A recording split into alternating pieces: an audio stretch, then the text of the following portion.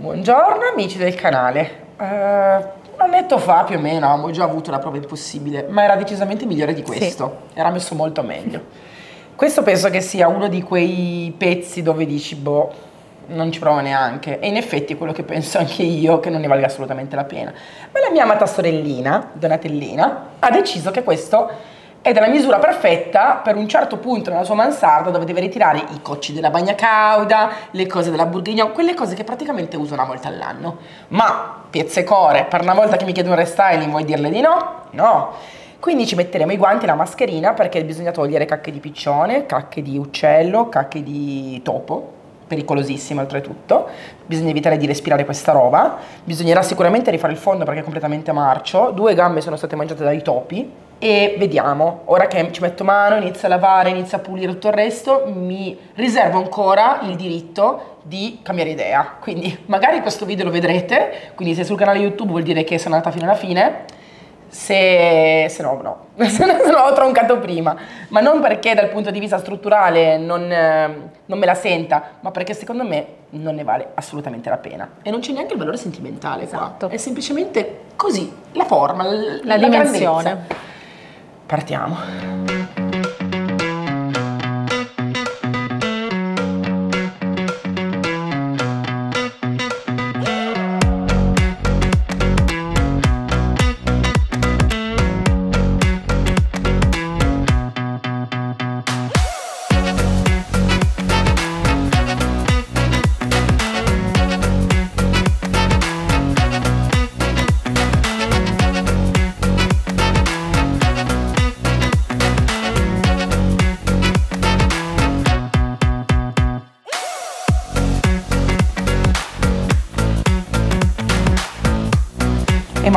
Mettendoci quanti quelli spessi perché non ho voglia di infettarmi le mani. Io ho a volte dei taglietti dovuti mm. al lavoro e con queste cose qua non si scherza. Allora, partiamo buttando via lo schifo.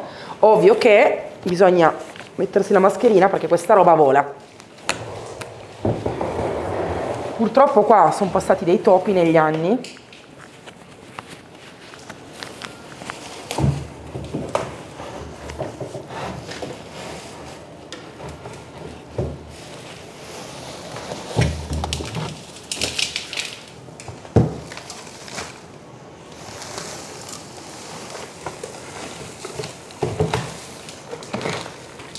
Qua ovviamente, pennello Emma, qua ovviamente non basta aba, qua ci metteremo candeggina e tutto quello che occorre per sanificare fortemente.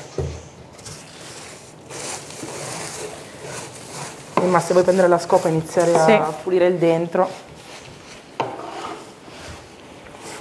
Probabilmente questo mobile era abbandonato in una casa e stava per essere ovviamente super giustamente buttato in discarica. Forse non mi sarei opposta, eh? Alla discarica questa volta. Prendo una spatola, Emma, per favore. Mm -hmm.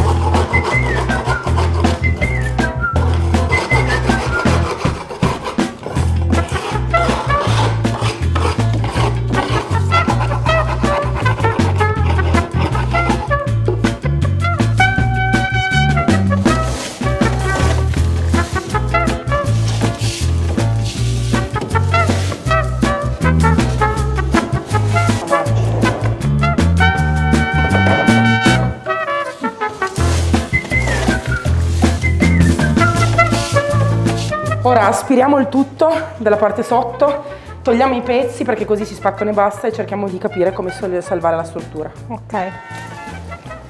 Tanto Emma questi chiodi sono tutti quanti completamente marci. Aspetta, faccio tengo io. No, questo non si può togliere, devo togliermi questo. Anch'io ho dato pure questo. Perché è marcio.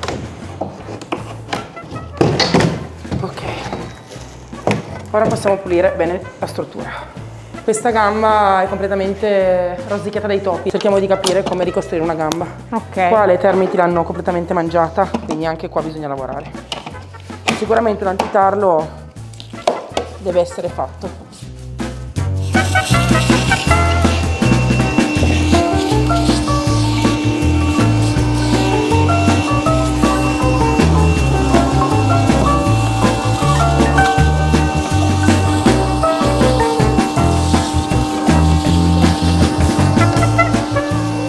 Voglio rimettere questo che è il ripiano, lo sostegno del ripiano. Di là l'abbiamo già messo, lo fissiamo anche di qua. Si vede che qua c'è una riga, si vede che qua c'è una parte più chiara e che deve appoggiare su questo.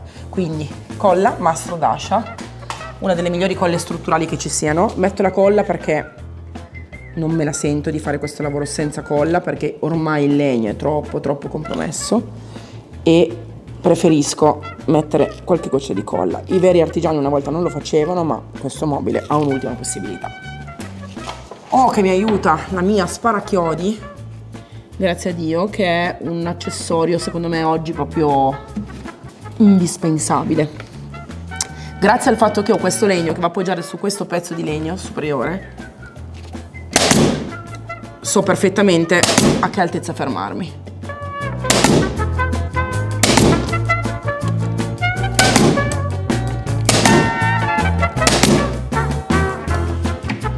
Aderire bene.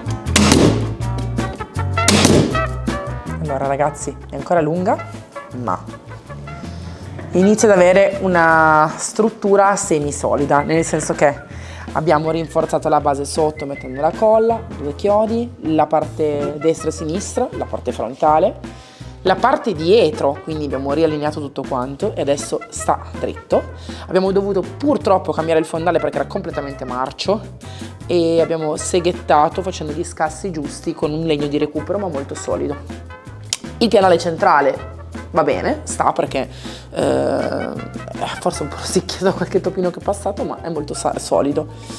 Ora una porta c'è, mettiamo la seconda. Prima però vi facciamo vedere come sistemare i cassetti quando hanno questo buchettino che è veramente fastidioso. Lo vedete qui, qui davanti, qua.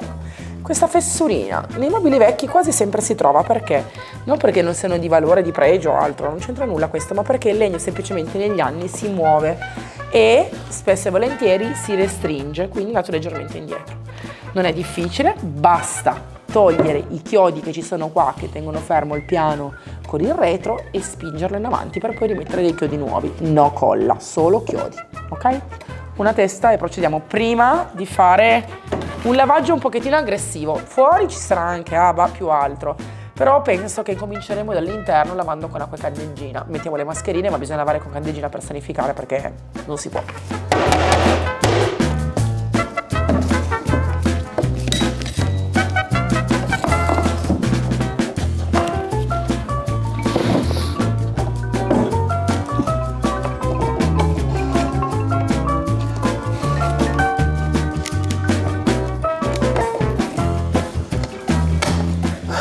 Lo svitro l'hai preso Emma? Perché abbiamo i chiodi troppo secchi.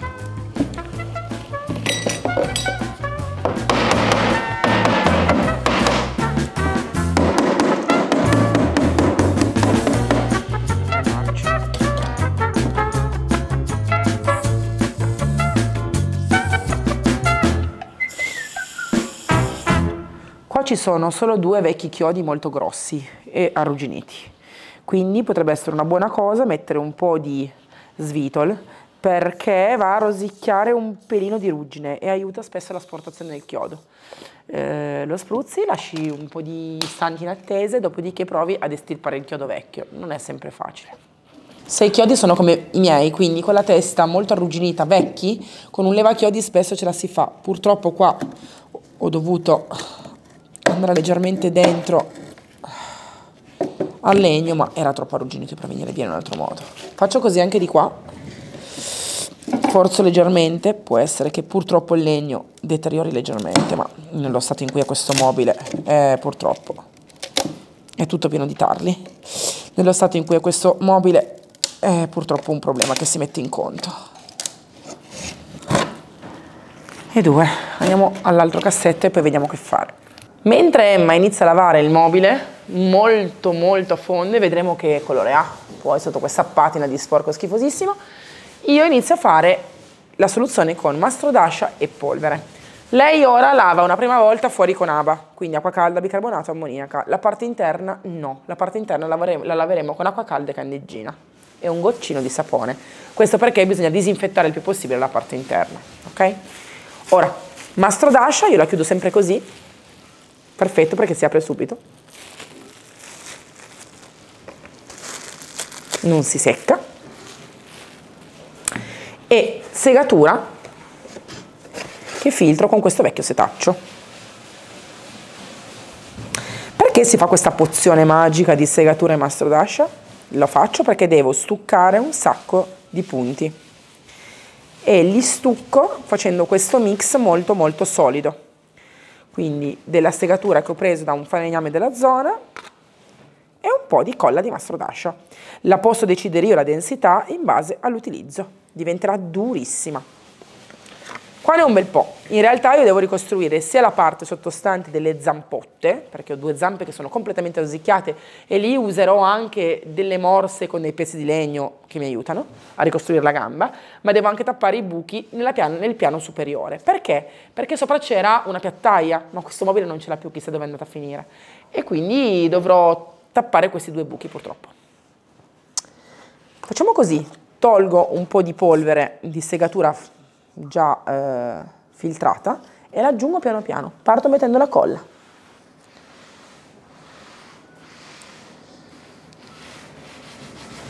Ricordate che asciuga, quindi non costruitene troppa, piuttosto ne mettete un po' per volta. Aggiungete pian pianino colla o aggiungete un po' di segatura al massimo. E se non vi basta la rifate. Però ricordate che poi nel momento in cui diventa rigida sembrerà veramente un pongo plasmabile, quindi occhio. Eh? Potete creare appunto la soluzione della densità che vi occorre e regola imprescindibile, mettete i guanti, altrimenti vi diventano le mani nere e non vengono pulite per giorni, giorni, giorni, ve lo assicuro. Provato già io. Metto ancora un po' di polvere perché si sta addensando, ma secondo me ancora un po' può servire. Io uso questa spatolina perché mi trovo molto bene, riesco a fare le cose in modo molto fine e preciso. Potete anche aggiungerla a cucchiaini, così sapete quanta polvere di segatura avete messo e quanta colla avete messo. Ora inizierò tappando i buchi sul piano superiore. Occhio perché gonfia, quindi ci vuole magari un peso in modo che non fuoriesca e il peso ce lo mettiamo con un pezzettino di plastica. Uso un pezzo di legno con una plastica in modo che non mi si sporchi poi metto un peso in base a quanto stucco avete messo il peso potrà cambiare. Se la posizione ve lo consente potete anche utilizzare morsa, un morsetto, una morsa in modo da tenerlo bello fermo. In questo momento io qua non posso mettere la morsa e mi basta tranquillamente il mio stucco messo in questo modo. Uh, fai in fretta, eh? quindi quando è eh, diciamo così denso, fa in fretta. Quindi mi raccomando, non pensate di doverci mettere troppo tempo. Beh, certo, l'ideale è metterlo stasera e tornare domani mattina per proseguire col mobile, ma dipende da quanto tempo avete. Mentre Emma continua a pulire tutto quanto, io creo ancora un po' di pasta, perché in realtà ne ho fatta troppo poca, della stessa densità, chiudo l'altro buco e inizio a stuccare tutti i buchini che ci sono sulla parte superiore, perché sono tanti, tante brutte crepe che vanno chiuse.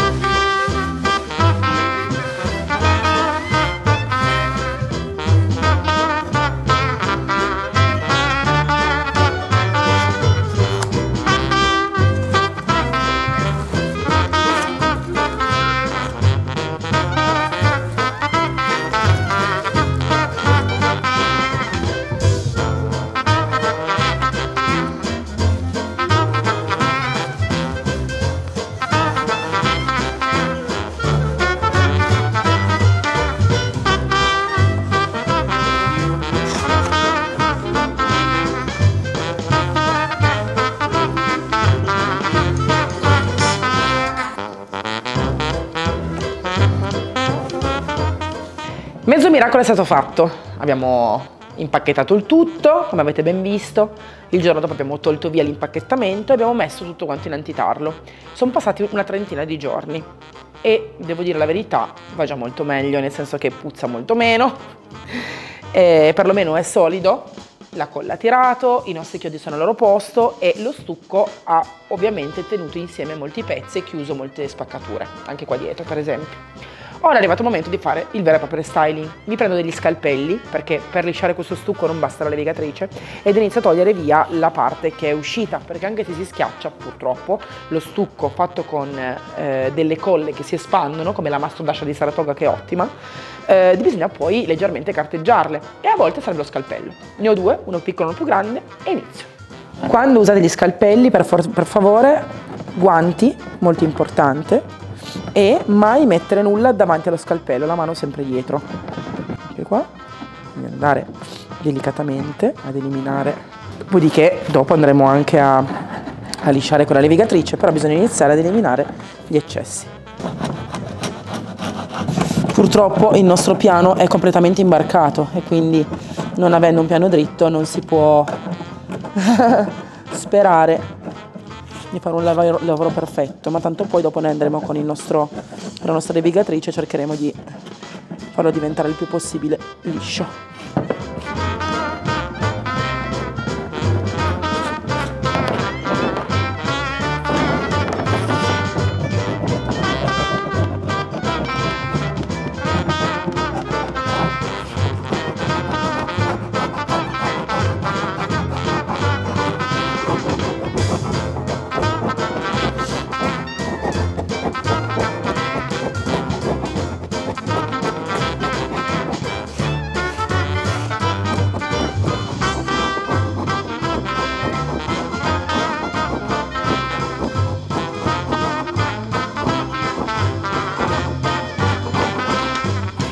Vedete da questa parte è stata ricostruita completamente la zampetta, questa zampetta qua era stata mangiata dai topi e abbiamo messo quattro pezzi di legno ai lati con le morse e uno sotto. Ovviamente eh, ne abbiamo messa tanta e gonfiando la mastro d'ascia con eh, è uscita. Ora con due scalpelli iniziamo a limare il più grosso, quindi a togliere via i pezzi in esubero, dopodiché la carteggiamo con la levigatrice mentre andiamo a carteggiare la superficie perché qua c'è un disastro. Mi aiuto con un martello perché è veramente tanta e dura.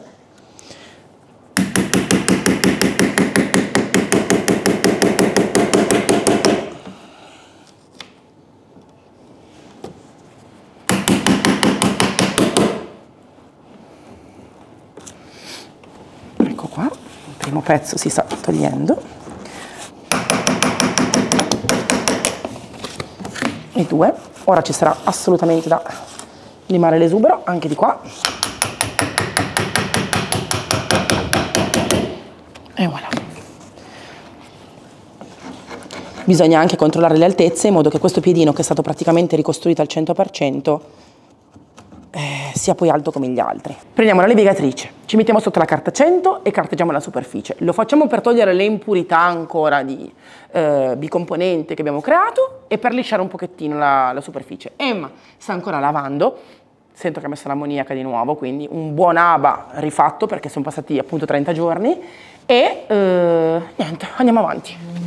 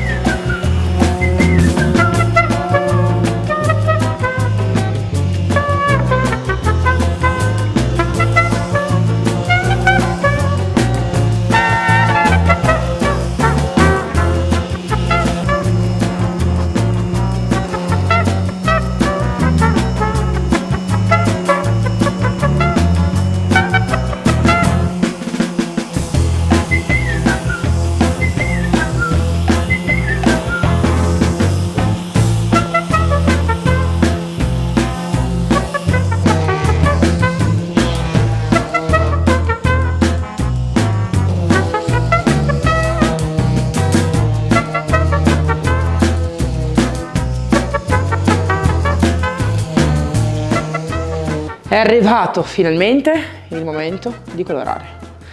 Come vedete è stata una carteggiata, ma non perché abbiamo paura che non aggrappi la vernice, per la carità era l'ultimo dei nostri problemi. Una carteggiata perché qualcuno negli anni, sperando di, non lo so, coprire un po' le macerie, aveva steso del flatting molto male, probabilmente in verticale, c'erano tutte delle colate di vernice, qua le porte contro luce si vedeva sotto lo schifo, sotto lo sporco, si vedevano le colature di questo flatting, di questa vernice, anche sui laterali, ovunque è stato per forza di cose obbligatorio dare una carteggiatina. Quindi abbiamo tolto una buona parte di sporco che non andava via con la, con la, con la semplice lavaggio ABA e abbiamo ovviamente anche tolto via queste colature. Mia sorella lo vuole Cherie, quindi Donatella avrà questa credenza che vicino alla sua cucina, che ha un colore molto simile allo Cherie però è lucida, un mobile completamente Cherie. L'ho già girato, io uso il mio architetto per fare laterale, invece Emma parte nella parte frontale e utilizza il pennello a punta perché andrà bene bene bene nelle scanalature. Ascolta Emma, noi poi lo coloreremo anche dentro. Okay. Quindi non andrei a mettere troppi scotch. Okay. Andiamo direttamente col colore. Mi raccomando, vernice pura su un mobile del genere, perché deve coprire bene tutte le macerie che ci sono sotto e lo sherry copre molto bene se steso puro. Finalmente lo vedremo unificato, lo vedremo bello pulito, lo vedremo elegante e non ci sarà più questa struttura oscena a pezzi che non mi ha fatto dormire qualche notte, sono sincera.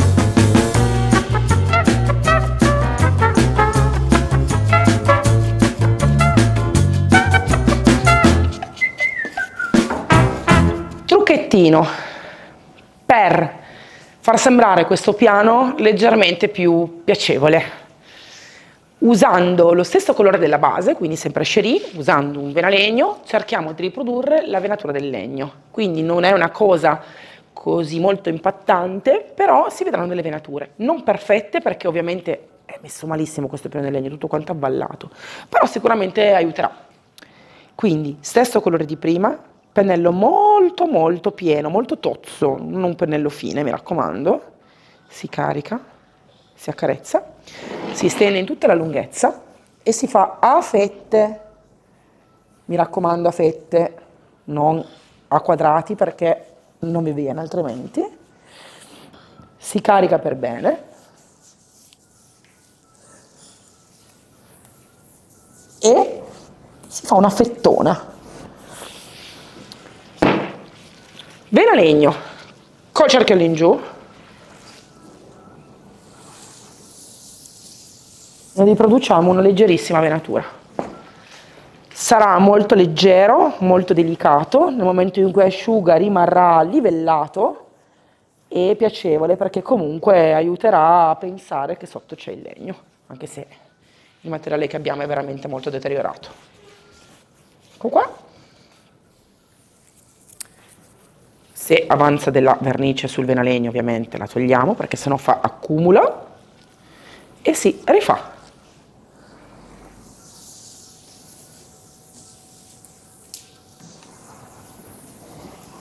Il tampone ci aiuta perché è in silicone, quindi essendo morbido ci aiuta a aderire alla superficie, anche se non è assolutamente piana e gradevole.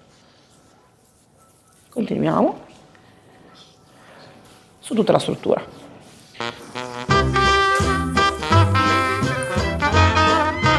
Visto che l'interno del mobile è molto rovinato e comunque bisognerà mettere poi all'interno delle pentole e così via, diamo una mano di Rocher.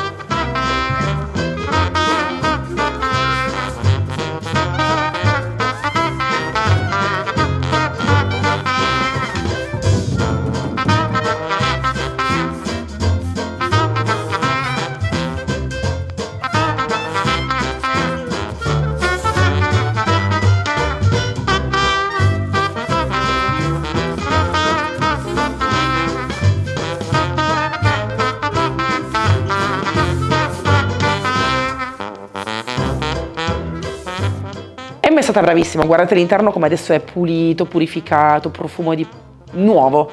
È un mobile che non sembra assolutamente aver vissuto quello che purtroppo ha vissuto. Vi ricordate com'era quel cassetto, cosa c'era dentro?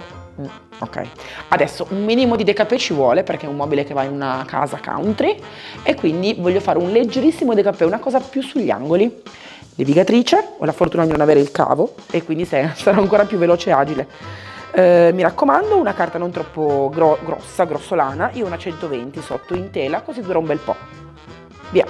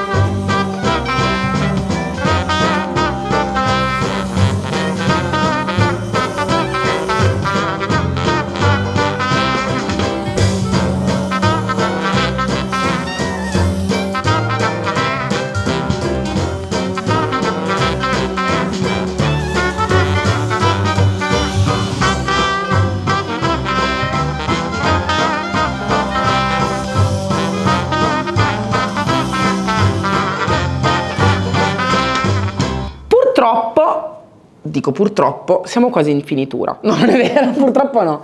È stato veramente un lavoro lungo, sono due giorni che cerchiamo di ricompattare questo, questa credenza. Mia sorella, in caso voi non lo sapeste ancora, ma forse lo sanno in tanti perché lo dico sempre, ama l'uva e eh, non possiamo non metterci due grappoli d'uva. Beh, diciamo che il colore ci sta. Sì. La struttura è molto armonica perché country. Ci sono questi fronzoli che riprendono della frutta e ci siamo. Non voglio mettere fregi, anche se abbiamo dei fregi con l'uva bellissimi, perché ci sono degli intagli, il fregio che in esterna non stava bene. Quindi secondo me si può sdrammatizzare con dei bei transfer. Allora, questo si chiama wine e ha diversi soggetti al suo interno a tema uva. Non metteremo tutti i disegni, andremo semplicemente a lavorare su questa parte centrale, quindi su questa parte qua di drappeggio, con qualche grappolo sì. e qualche, come si chiama? Filare, no? Filare di uva. Allora, questo sei d'accordo? Lo metto sì, qui? Sì, sì. Li disponiamo e li grattiamo pian pianino. Allora, uno. Poi gli altri, Emma, dove li vuoi? Allora, vorrei capire se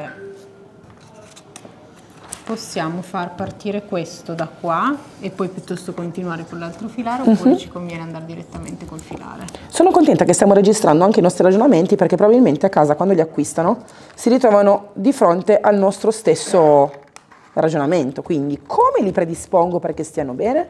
Ecco, bene, sappiate che non c'è una regola e anche noi per imparare, per capire, per scoprire come stanno, proviamo e quindi non c'è nulla di... Non, non, si può sapere come viene prima di aver provato. Esatto. Li taglio tutti e due e poi vediamo. Ok, quindi trucchettino, non metteteli sempre interi. Se non sapete, se non avete la garanzia, la certezza di come li volete, divideteli in modo che sia più facile predisporli sulla superficie. Emma appunto li sta tagliando con le forbici. Io sto iniziando con questo qui che diciamo abbiamo la garanzia che deve stare qua la sicurezza. Mm? Su questo colore sta bene perché il colore dell'uva, beh forse un pochettino più rossiccio dell'uva dai, però ci sta. Al colore del vino. Esatto, dell'uva, sì del vino non dell'uva. Ok, uno schiaccia pure, così va bene dentro i nostri, le nostre insenature. Ora, Dicevo, o facciamo così e poi qua riprendiamo col filare in modo che scenda di più, se no gli attacchiamo questo e questo lo mettiamo qua. A me piacerebbe però un po' stortino. Sì, vabbè, vediamo poi come inclinare. E gli altri bianchi? Ce li ho qua, possiamo metterli da questo lato. Perché ne metterei uno bianco da un lato e uno bianco dall'altro? Quindi scartiamo questo. Tu li metteresti dritti? Iniziamo Beh, a mettere questa. Sì, perché questo fa così, quell'altro Ok. vediamo. Iniziamo a mettere questa, poi vediamo. Così però. Sì. Mm? Ok. Ovviamente andrà ai lati, però questo è il bello dei transfer.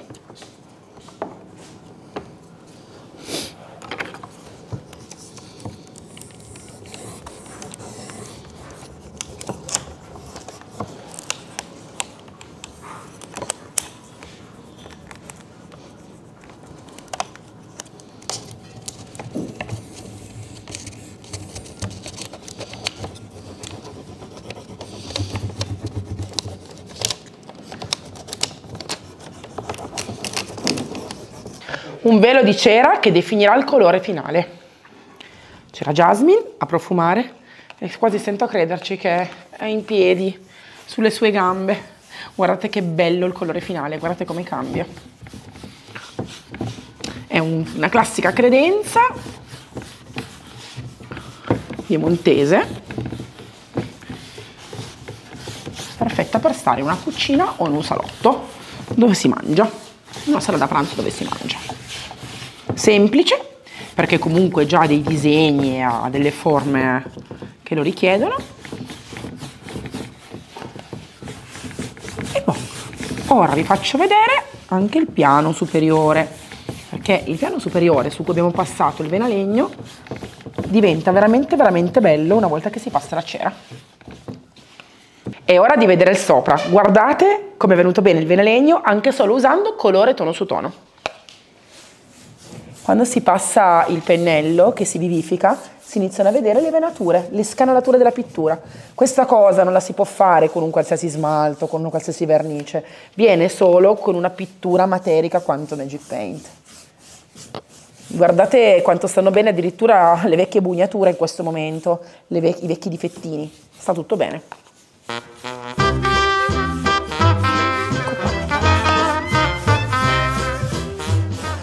Rifinisco il tutto, lo massaggio poi bene domattina e ve lo ambiento per farvi vedere come sta bene nel suo ambiente finale. Anche questo restyling è finito, mi sono messa qua comoda sul dondolo e qua sono nella soffitta, nella mansarda veramente di casa di mia sorella. Lei ha fatto la richiesta precisa di eh, avere questa credenza di questo colore. Povera in realtà non ha visto le condizioni in cui era prima perché è stato suo marito a portarmi questa, questa credenza prima che lei la vedesse e quando l'ha vista finita era contentissima. Lei adora l'uva, adora questo colore vinaccia che un po' si abbina alla sua cucina, è un colore amaranto in realtà il mio, mio sherry e le piace tantissimo. Però non sapeva le condizioni in cui eh, fosse prima questa credenza.